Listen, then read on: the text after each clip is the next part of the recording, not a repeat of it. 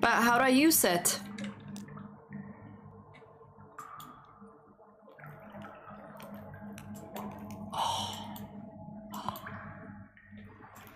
We have fire.